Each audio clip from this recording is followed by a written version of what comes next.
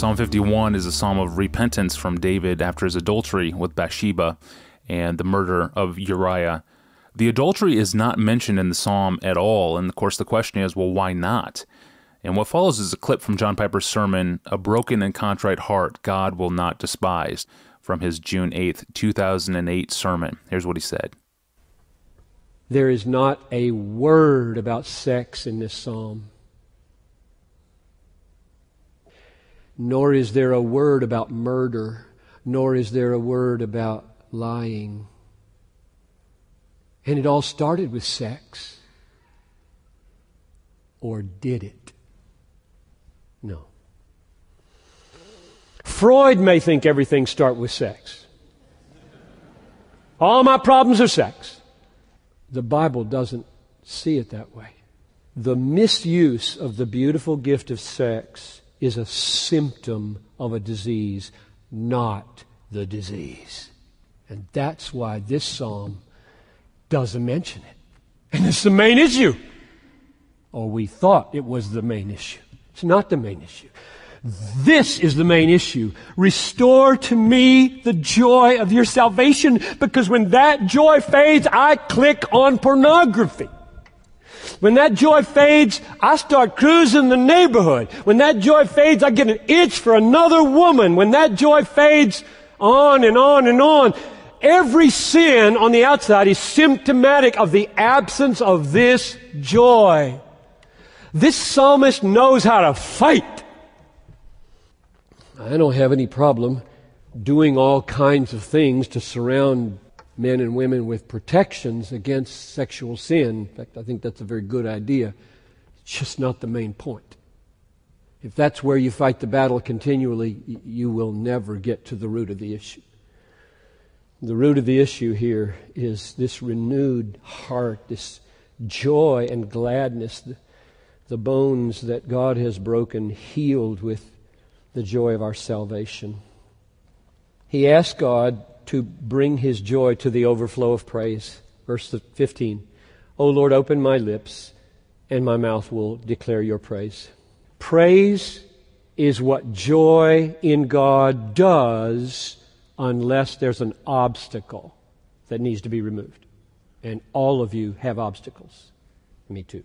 And what he's praying is that they be removed. Open my lips.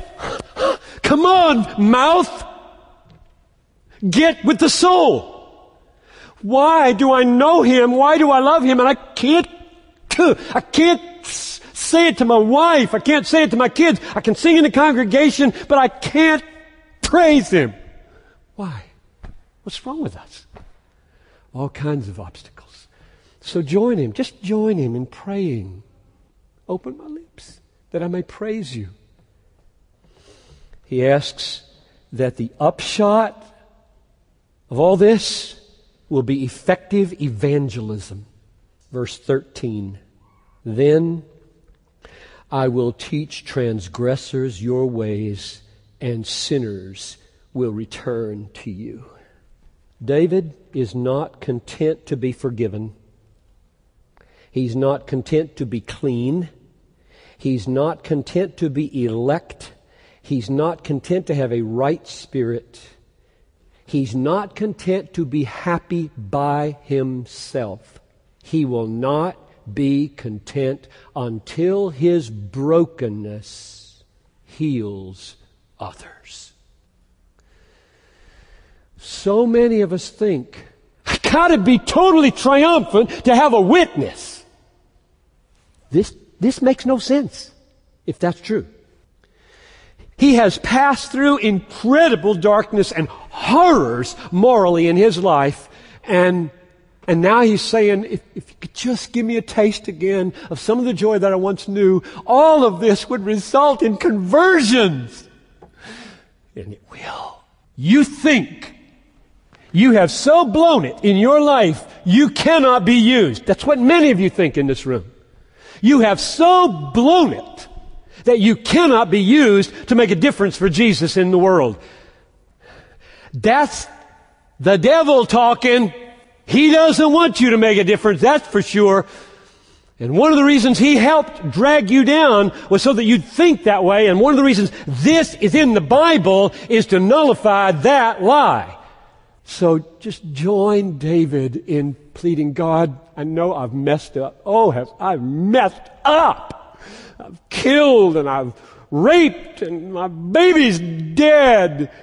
Would you cause people to come to Christ through my life? Maybe that would be the way the Lord would make evangelism happen in Bethlehem. Amen. What a surprise to see missions appear in verse 13 of Psalm 51. For the full message, go to desiringgod.org and search in John Piper's sermon archive for the title, A Broken and Contrite Heart God Will Not Despise, the sermon preached on June 8th, 2008. So, what counsel would John Piper offer to a wife who's stressed and disappointed in her husband and who is considering divorce as a way of escape? We'll ask him that very question tomorrow. I'm your host, Tony Reinke. Thanks for listening to the Ask Pastor John podcast.